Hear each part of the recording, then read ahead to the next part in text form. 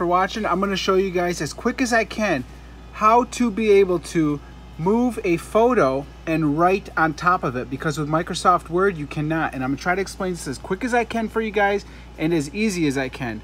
Okay, first what you're gonna do is drag the image that you want on your desktop of your computer, which I have a coupon that I've printed off and copy and pasted, I'm sorry, not printed, copy and pasted from Google and moved it over to my desktop.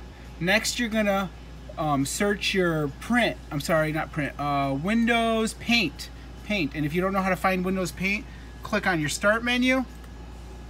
Right here, type the word Paint, P-A-I-N-T, and don't mind my shaky video because I'm I don't have two hands to record this. There's Paint right there. It should search it if you got it. If not, you can download it.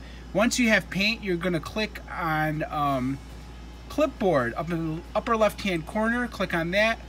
You're gonna hit Paste and paste from and then desktop. Once you're on your desktop, you're gonna find the image you were looking for, and there's the coupon I wanted, highlight it and push open. Next, you are gonna click on the little A button right there, which means you're gonna start typing. Click here, it opens a box. You can make it as big as you want. Oops, almost messed that up.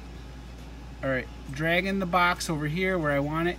And if you mess up and like click outside of the box, you have to start all over. I'm sorry guys, that's just the way it's set up and uh, it thinks that you're done.